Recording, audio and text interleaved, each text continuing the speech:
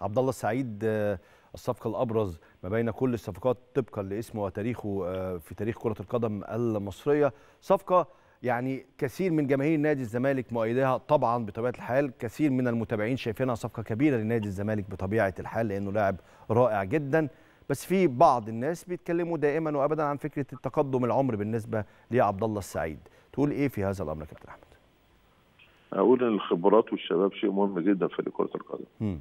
المهم في الآخر بتجيب ال 11 لعيب أو 30 لعيب في القائمه أو في الملعب متوسط الأعمار بيبقى قد إيه في الفريق. والخبرات شيء مهم جدا وجزء الشباب والنهاردة آه، إحنا لو صغيرين كمان كنا واحد يسمع سن 50 ده يحس إن هو عاجز قوي.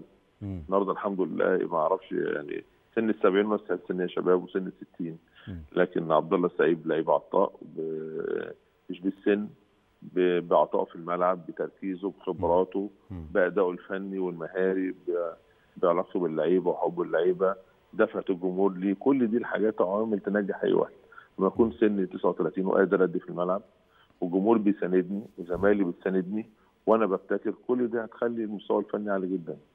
عبد الله شيء مهم جدا. وإضافة لأجيال أنت شايف محمد شحاتة 22 سنة وزياد كامل 22 سنة محمد عاطف 23 آه، كل ال- ال- الأعمار السنية معظم الفريق كلها صغير.